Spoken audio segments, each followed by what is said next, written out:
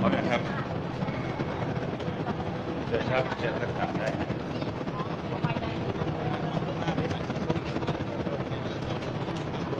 ก็วันนี้นะครับเดินทางมาที่หมู่เจาะนี่ก็คือหัวที่สี่นะครับตามสัญญาของการก่อสร้างรถไฟฟ้าสายสีส้มฝั่งตะวันออกนะครับซึ่ง หัวเนี้เรากำลังจะต่อ เชื่อมกับหัวต่ออีกข้างที่เดินทางเข้ามาเนี่ยก็คือจากตรงนี้เนี่ยนะครับ ก็จะไปเชื่อมระหว่างสถานีหัวหมากไปยังรามแหงนะครับ ซึ่งวันนี้เป็นวันเริ่มต้นก็คือ 12 มีนา จะใช้เวลาเนี่ยคือต่อไปถึงเดือนกรกฎาคม63นะครับ ก็จะเป็นการแล้วเสร็จ โครงการทั้งหมดเนี่ยสายสีส้มทนออกเนี่ยจากแผนที่เอ่ทาง รฟมเนี่ยทำไว้นะครับ ก็จะเสร็จสิ้นในปี 2500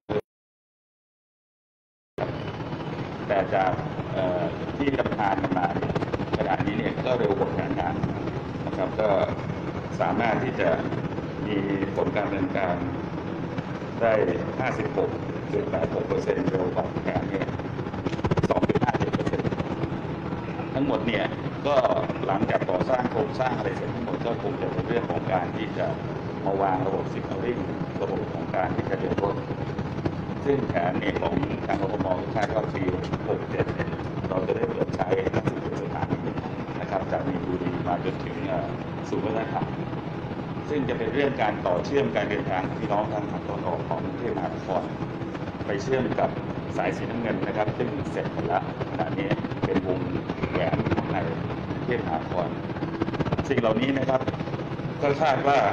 ถ้าดำเนินการเรียบร้อยเนี่ยประโยชน์ที่จะได้รับเนี่ยนะครับก็จะสามารถรองรับการเดินทางในเบื้องต้นเนี่ยนะครับ ก็คิดว่าประมาณสี่แสนกว่าคนต่อเที่ยวต่อวันเนี่ยนะครับ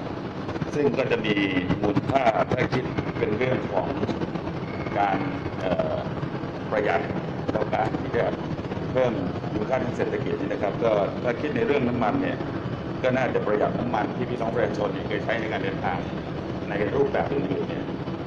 ก็จะลดน้ำมันได้ถึงมูลค่า 24,000กว่าล้านบาทนะครับ นอกจากนั้นเนี่ยก็จะประหยัดเวลาในการเดินทาง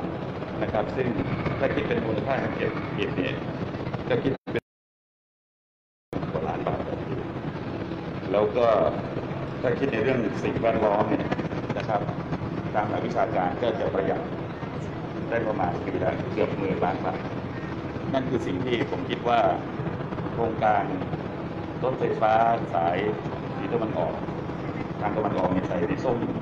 ฝั่งที่ตะวันออกเนี่ยครับก็จะตอบโจทย์เรื่องแบบนี้แล้วถ้าต่อเชื่อมกับรถไฟฟ้าสายสีส้มทางฝั่งที่ตะวันตก นะครับซึ่งคณะรัฐมนตรีอนุมัติแล้วอยู่ในระหว่างกระบวนการหาผู้รับจ้าง ซึ่งคาดว่าภายในเดือนตุลาคมปีนี้นะครับจะดำเนินการหาผู้รับจ้างได้ แล้วก็ถ้าต่อเชื่อมกันเนี่ยเราก็จะสามารถเดินทางจากตะวันออกที่มีนบุรีนะถึงบางขุนนนท์กายบางขุนนนท์นะครับ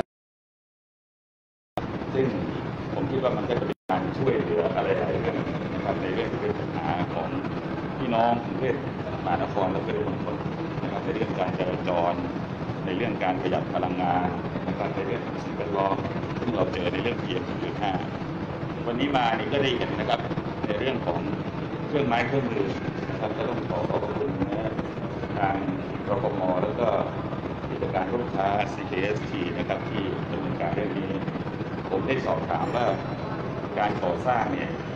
มีมาตรฐานความปลอดภัยขนาดไหน ก็ปรากฏว่าตั้งแต่เริ่มโครงการมายังไม่มีอุบัติเหตุอะไรเลยนะครับนั่นก็ถือว่าเป็นเรื่องที่ทางบริษัทเนี่ยกับทางรปภได้ดูเรื่องนี้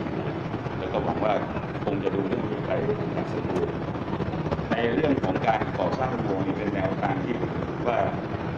เป็นแนวทางที่ดีมากสำหรับกรุงเทพมหานครนะครับเพราะว่าเวลาก่อสร้างเนี่ยก็จะไม่มีปัญหาเรื่องการจราจรนะครับแล้วก็เป็นเรื่องที่ในอนาคตในรพม นะครับก็อาจจะร่วมกับการทางพิเศษนะครับอาจจะร่วมกับกรุงเทพมหานครในการที่จะคิดในเรื่องของการใช้อุโมงค์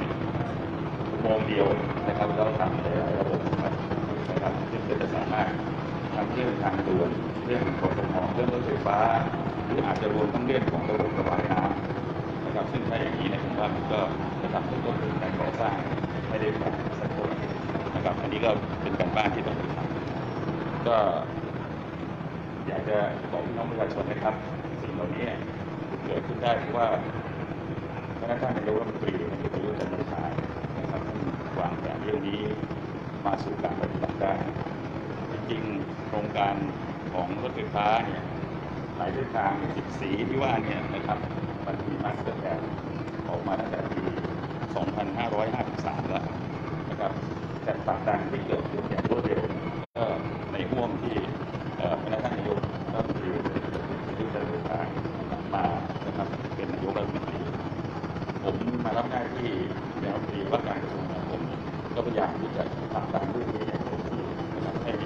สามารถที่จะตอบโจทย์ในเรื่องการบริการพี่น้องประชาชนและแก้ไขปัญหาให้กับพี่น้องประชาชนได้เร็วที่สุดครับการก่อสร้างที่เราวางแผนมีโอกาสที่จะเสร็จเร็วแล้วก็เปิดใช้บริการได้ในปี67วันไหมครับก็พยายามจะทำให้ได้นะครับ เพราะว่าจริง ๆ ที่เราวางไว้6เดือนเนี่ยก็เพราะว่าเรากำหนดในเรื่องของมาตรฐานในเรื่องการก่อสร้าง แต่ทุก 1.4 เมตร เขาจะต้องหยุดพักการเจาะนะครับเพื่อประกอบโครงสร้างที่จะบังในเรื่องของไม่ให้ดินเนี่ยมีปัญหาสไลด์ลงมานะครับส่วนเรื่องการเอาดินออกเนี่ยที่ดูเนี่ยไม่มีปัญหาเรื่องของภาวะนะครับเพราะว่าเป็นระบบปิดทั้งหมดแล้วส่งขึ้นไปข้างบนเนี่ยก็มีรถที่มารับนะครับซึ่งทราบว่าบริษัทที่ก็มีภาคภูมิอะไรไม่ให้เป็นปัญหาที่จะให้เกิดการพุ่งกระจายนะครับของฝุ่นะครับก็พยายามเร่งรัดนะครับอะไรที่จะทำให้ เกิดความสำเร็จได้เร็วที่สุดก็พยายามทำนะครับ ส่วนในเรื่องของสายตะวันตกเนี่ยถ้าดำเนินการเรียบร้อย ในเรื่องของการหารูปร่างก็พยายามจะเร่งได้ถ้าทำให้มันเปิดพร้อมกันได้เนี่ยก็ดีที่สุดนะครับนั่นคือเรื่องตัวอย่างครับรัฐมนตรีคะที่บอกว่าใช้อุโมงค์เดียวกับหลายๆหน่วยงานนี่คือเป็นแค่แนวคิดหรือว่าเริ่มหารือกันแล้วอะคะกำลังเริ่มศึกษาแล้วนะครับให้สนขเนี่ยเป็นศูนย์ในการบูรณาการระหว่างหน่วยงานรฟม นะครับ การทางพิเศษนะครับ แล้วก็กรุงเทพมหานครค่ะเออเป็นอุโมงค์ไหนแล้วก็ใช้งานตรงไหนบ้างอะเป็นเส้นทางไหนก็เริ่มต้นที่เป็นแนวคิดก็คือไปดูที่ประเทศเกาหลีมานะครับเขาก็แสดงให้เห็นว่าเทคโนโลยีปัจจุบันมันทำได้แล้วนะครับ จะเป็นเอ่อรถไฟฟ้า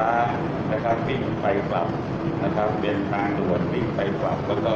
มีอุโมงค์ระบายน้ำด้วยนะครับซึ่งตรงนี้เนี่ยเบื้องต้นผมคิดว่าก็หลักก็เหนือไปใต้ตะวันออกไปตะวันตกนะครับก็ต้องคิดอย่างนั้นนะครับซึ่งอันนี้ก็ให้ศึกษาให้เรียบร้อยก่อนนะครับแต่ว่าผมว่ามันจะเป็นเรื่องที่ตอบโจทย์ในเรื่องของการก่อสร้างในอนาคตแล้วระบบนี้เนี่ย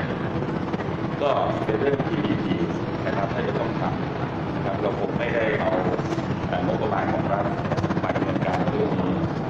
เรา PPP โดยใต้ใต้พื้นฐานที่ผมเรียนนะครับ ก็ต้องดู stakeholder ก็คือผู้มีส่วนเกี่ยวข้องสามส่วนรัฐเอกชนแล้วก็ประชาชนนะครับ แต่เราก็จะต้องดูในเรื่องของการจัดสรรในสิ่งที่จะทำให้เกิดประโยชน์สูงสุดกับพี่น้องประชาชนในเรื่องค่าโดยสารเนี่ยทำยังไงจะมีราคาที่ดีเด่นมีผลแล้วก็ถูกที่สุดอาจจะใช้วิธีการที่ขยายเวลานะครับของเวลา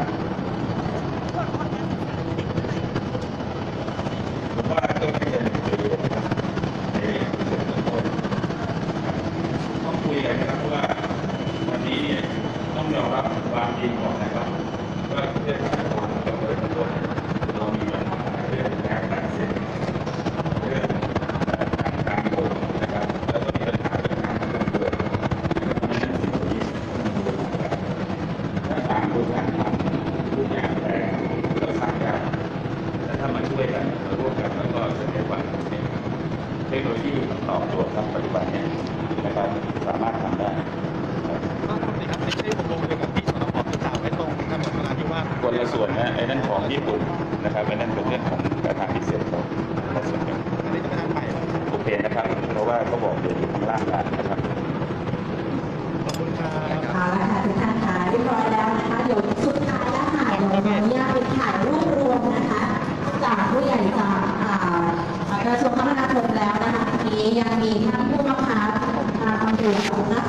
สี่นะคะรองผู้บังคับการตำรวจนครนครบาลสี่กับการสอนต่อมานะคะ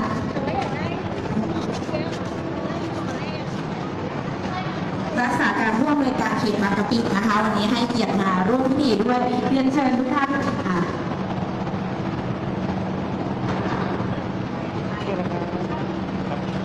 ค่ะ เอาละค่ะวั นี้นะคะนอกจากท่านผู้บริหารจากกระทรวงคมนาคมค่ะเรียนเรียนเชิญพลตำรวจตรีธีรพงศ์ด้วยนะคะวันนี้ให้เกียรติด้วยนะคะรวมถึงพี่ด้วยนะคะรวมถึงผู้กำกับการสอนอของหลานและคณะด้วยค่ะขอบคุณพี่ๆสื่อมวลชนทุกท่านนะคะที่ให้เกียรติมาร่วมพิธีในวันนี้ค่ะ เรียกว่าเราอีกใจเดียวนะคะ ปี 2567 ได้ใช้งานแน่นอนค่ะ เอาละค่ะ เรียบร้อยแล้วนะคะขอบคุณขอบคุณท่าน รีว่าการกระทรวงคมนาคมนะคะ แล้วก็ผู้บริหารนะคะทุกท่านด้วยนะคะ